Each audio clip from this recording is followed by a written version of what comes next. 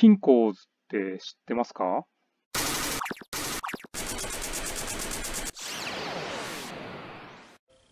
コニカミノルタから株主優待届いてます。はい。で、えーこんな感じですね。結構でかい。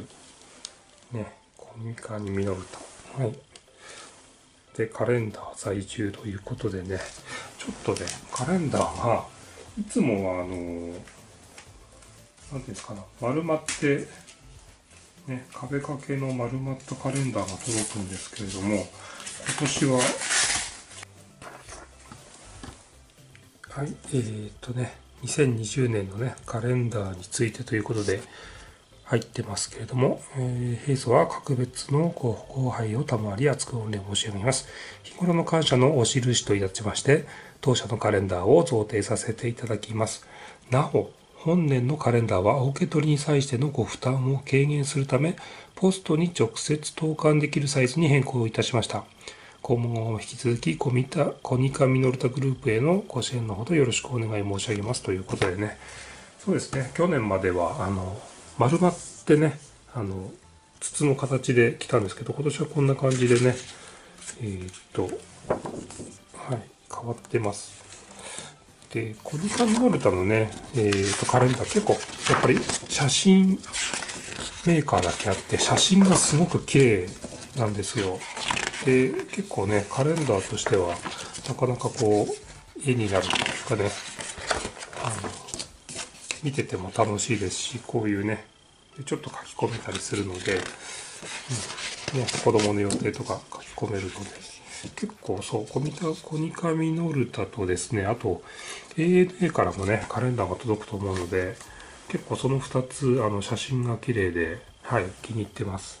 こちらはね、コニカミノルタですけれども、うん、あ、そうですか。でもね、そんなになんか、丸まってる方が良かったかなとか思ったけど、こうやって広げればね、普通のカレンダーとして使えるので、まあ、これはこれでいいのかなと、はい、思います。はい、それでは株価の方を見ていきますね。コニカミノルタですけれども、今ですね、まあ727円ということで、まあこの辺ですね、最近は。ちょっと前までね、1000円くらいまであったんですけど、ここですね、半年前くらいまで1000円くらいだったんですけど、ちょっとあの、落ちちゃいましたね。はい。で、えーっと、最大で見ると、まあこんな感じですね。うん。ね。結構、うん。これリーマンショックですかね。リーマンショックで落ちたっきり、ちょっとなかなかこう上がってこなくて、一時期ね、上がってきたかなっていうところで、私多分この辺で買ったんですよね。なので今はだいたい50%くらい含み損っていう感じですかね。はい。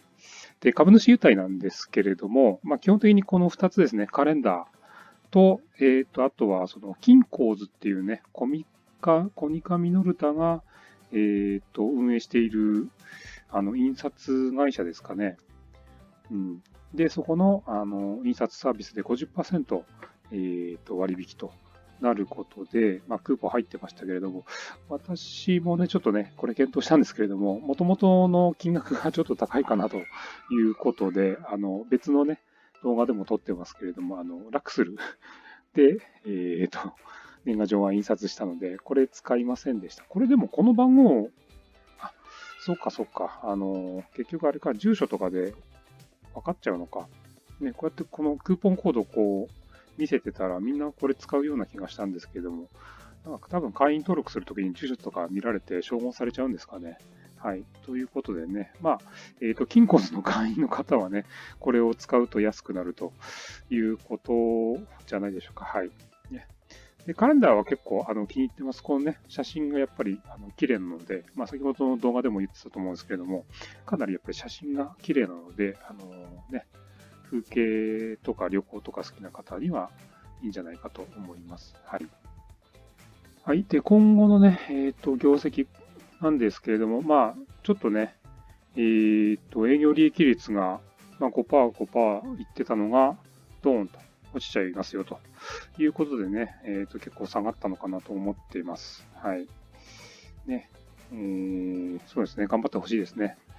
で、一応、ね、2021年と経営目標ということでね、えー営業利益1000億以上、営業利益率10%、ね、ROE11% ということでね、目標を掲げてますんで、これを達成するとね、かなりあの上がるのかなとは思ってますけど、ちょっとね、あの2019年度でガクンとこう落ちちゃってるので、ここがちょっとやっぱ気になりますね。はい。うん。まあ、頑張っていただきたいと思います。はい。はい。ということでね、今回はコニカミノルタの、えー、株主優待カレンダーが届きましたということで動画を撮りました。今回も動画をご視聴いただきありがとうございました。このチャンネルでは株や株主優待についての情報をお届けしていますので、ぜひチャンネル登録をお願いします。ご質問やリクエストがあれば LINE アットからお願いします。